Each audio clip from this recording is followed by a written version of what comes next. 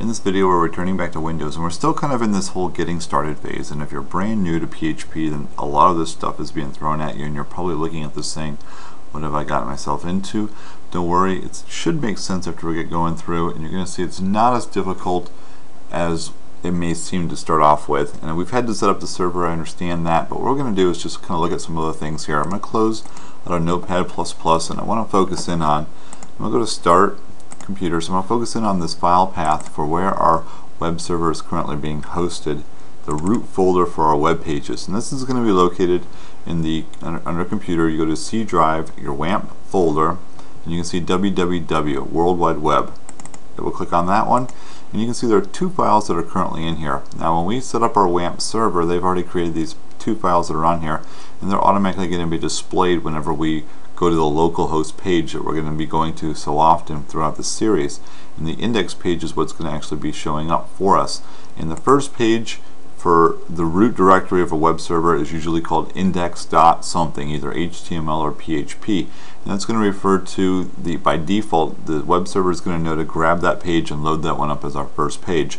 Now, we're not going to be naming pages as index.php or index.html because if we don't name them, you'll see that it gives us a list of all the files that we're going to be working with and it's going to make it a little easier for us to work with on this particular series. And so what I need to do is I'm going to go ahead and create myself a folder here. I'm going to choose new folder and this is where I'm going to go ahead and be putting my lessons so or my, for my series. So I'm just going to call this one here just lessons. And then I'm going to go ahead and click off of that so that it's created. And I've got a folder called lessons now. When we open up our localhost page we're going to see that here. All of our web pages are going to be stored here in this lessons folder. So I'm going to go ahead and close out of this now. And let's go ahead and open up our web browser to take a look at it. Now when the web browser opens up you're going to be typing this in a lot. You're going to go ahead and type in localhost. And I'll hit enter you can see this is where our WAMP server page is. This is the index page that we just saw while we were looking in our folder and you can see that now I've got a folder called lessons and it says your projects here. So everything we're going to be working on is going to be saved to this lessons folder. If I click on it, there's nothing in here by default that shows up because I have nothing in that particular folder. But I'm going to go ahead and hit back. We want to focus in on that. Speaking of this index page, we're not going to, in this series, focus in on server configuration.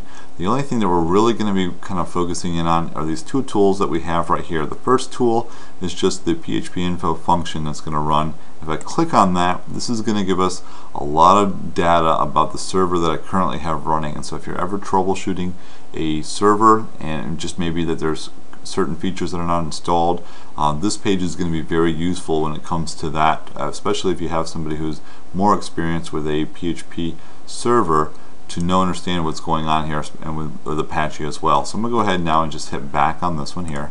So that this PHP info will let you know what's installed and what's not installed and what versions of the software that you're currently running. The PHP My Admin, I'll go ahead and click on that one now as well. We will be coming to this when we start working with MySQL. And this is the graphical user interface for the database that most typical people will use and it ties it in with a database and so you can see that this information is here I do not need to be in this right now so I'm going to still go ahead and hit back and we will eventually be using PHPMyAdmin just to verify a lot of things when it comes to our databases. We're going to be creating databases from web pages rather than using this graphical user interface but this does make it easy for us to see. And so this is still the introduction here. You're going to notice that when we create our pages, I'm going to be focusing on dragging this over to the one side, usually to the right side, and this is going to allow us to work with our pages. And I'm going to go ahead now and just click on the lessons folder. And then on the left hand side, I'm going to go ahead and start working with Notepad++. And I'm going to go ahead and drag that over here to the left so I can see side-by-side -side comparisons while I'm writing code and understand what's going on. To start with, I'm going to go ahead and hit new. This is the new little icon or file new.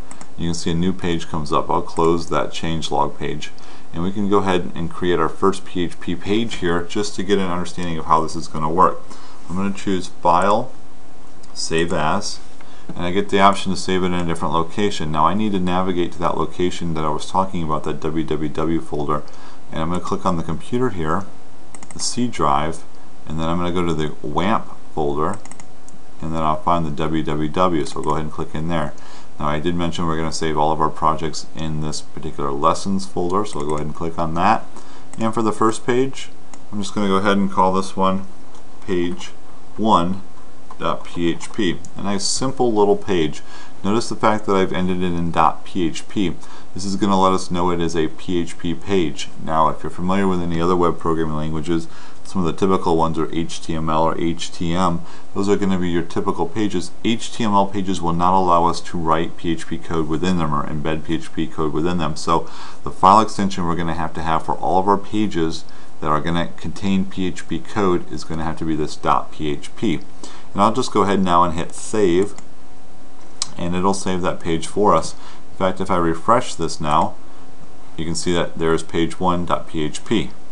And if you get these little compatibility view uh, messages like I'm seeing here pop up, just go ahead and choose don't show this message again.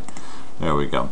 And so you can see some of these little icons aren't showing up just because of the fact of it being on my local computer and for security reasons this browser is not letting them show up. But however, I can still see my pages and we're going to go ahead and work on that as we go through this. So here's page one. If I click on it, nothing shows up on page one and the reason being is because there is nothing here on page one. And in the next video, we're going to actually start talking about some of the syntax that's going to be required for our PHP page. So I'm going to go ahead and leave this setup here to start with my next video.